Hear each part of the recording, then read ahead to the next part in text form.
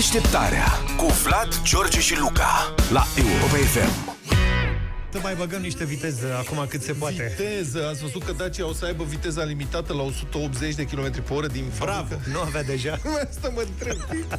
Practic asta înseamnă că trebuie să le crească viteza maximă. O să dai seama acum. Proiectanții, provocare mare pentru proiectanții de la Dacia. Mamă, cum facem să ajungă mașina la 180 în momentul O să facă teste doar la vale. Mamă, ce răi suntem cu Dacia. Altfel, o mașină foarte bună, Da, mă, foarte da. onorabilă. Serios, știu că avem... Mulți dintre voi sunteți fan Dacia, ne ascultați din Dacia. Este așa o tachinare amicală. Este mașina noastră națională, sigur, e deținută de francezi, făcută... Făcută de chinezi. Da, făcută de chinezi. A, am văzut patriotismul față de mașinuța aia electrică, Dacia Spring. Nu mai râdeți de Dacia Spring. Mă scuzați, este o mașină chinezească făcută în China. De francezi.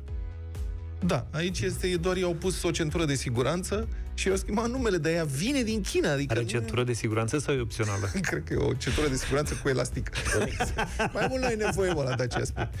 Dar revenind, deci, Așa. presa franceză a anunțat că viitoarele modele Renault și Dacia vor fi limitate din fabrică la 180 de km pe oră, ceea ce e în regulă. Sincer, eu n-am mers niciodată cu 180 de km pe oră, nicăieri în lumea asta. Codacia. Nu, cu orice mașină. N-ai mers niciodată cu 180? Nu, n-am mers niciodată, nici în Germania, când am ajuns pe autostradă, n-am mers cu 180. Dar, pe de altă parte, sunt mașini în care aș încerca să merg cu o viteză atât de mare, poate pe circuit sau... A, mă scuzați, n-am mers pe drumurile publice, dar e adevărat, pe circuit, da, am mers. Când am fost invitat la niște evenimente de-astea care se desfășurau pe circuit, pe circuit de Formula 1. N-am mers cu Formula 1. Eu aș limita toate mașinile de pe pământ. Da, la o problema- viteză, cred că ai 180. Bine. Problema nu e viteza, problema e repriza. Adică acolo e, se vede diferența, nu viteza. Cu 180 de km în România, că mergi cu 180, practic vrei să mori.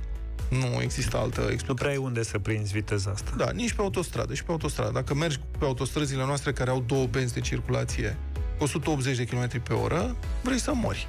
Că sunt denivelate, sunt strâmbe, mai e câte o groapă, mai trage unul de volan că nu e obișnuit să meargă pe autostradă și intră pe altă bandă, deci nu e în regulă. Bun. Da, revenind. Deci, avem așa și viitorul Megan, Asta e și mai tare. Ce urmează să fie lansat la sfârșitul anului va fi echipat cu un regulator automat de viteză care îl va limita la 160 de km pe oră. Și în momentul de față, viteza maximă a modelele Renault și Dacia este de peste 200 de km pe oră. Doamne ferește, aș zice. Cred că dacă încerci să te duci...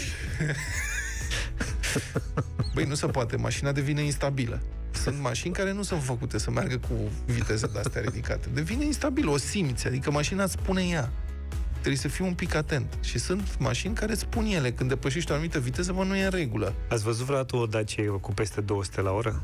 Dacă a văzut cineva, dați-ne Nu există mesaj așa pe, ceva. pe WhatsApp. Nu cred că există. Am văzut Tico, care m-a depășit pe autostradă cu 150. Asta e În urmă altceva. cu mai mulți ani. Eu. Eu am fost odată cu Tico la mare. Și cred că te-am depășit. Nu poți să fii atât de inconștient să mergi cu mașinuța aia cu 150. Deci dacă Mi-a treci fost pe lângă... frică. Bă, dacă treci pe lângă un tir, sau, da. mă rog, Te urci în el. trece tirul, te trage, știi cum, Te fac aspiră. frunzele Da. astea. Te duci așa în spirală după aia. Deșteptarea cu Vlad, George și Luca la Europa FM.